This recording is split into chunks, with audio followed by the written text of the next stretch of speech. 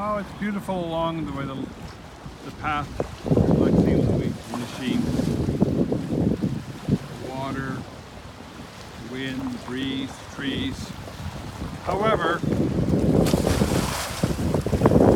there are some dangers.